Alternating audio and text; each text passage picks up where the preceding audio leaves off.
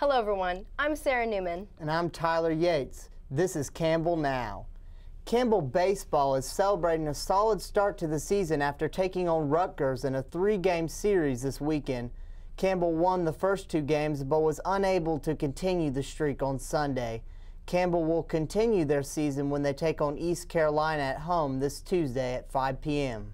Campbell is celebrating a strong performance in the annual North Carolina Independent Colleges and Universities Ethics Bowl.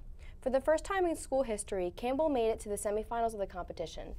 Campbell's team consisted of five undergraduate students who advanced to the semifinal round with a perfect 4 0 record. Campbell men's basketball is enjoying a dominant victory against Presbyterian on Saturday. The Camels led by more than 20 points at halftime and ended the game with a score of 74 to 57. The Campbell swim team is celebrating a successful season after sixth place finish in the Coastal Collegiate Sports Association competition. The swim team broke a 10 school records and the swimmers had a total of 39 personal bests. Campbell hopes to build on this success for next season. Campbell women's basketball is looking to regroup after a loss to Presbyterian during the weekend. The Camels fought hard but were unable to secure the victory. They will return to action on Wednesday when they host Winthrop at 7 p.m. Campbell softball is now 5 and 3 after a tough weekend at the Carolina Classic. Campbell lost to Western Kentucky and South Carolina during the weekend. The Camels hope to bounce back on Wednesday when they travel to UNC Greensboro. The Department of Spiritual Life is hosting another garden work day this Tuesday. Students can work in the garden from 12 p.m. to 2 p.m.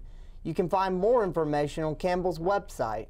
The 39th President of the United States, Jimmy Carter, is now in hospice care at his home in Georgia. He has had multiple hospital visits in, in recent months and decided not to re receive any more medical treatment so he can spend time with his family.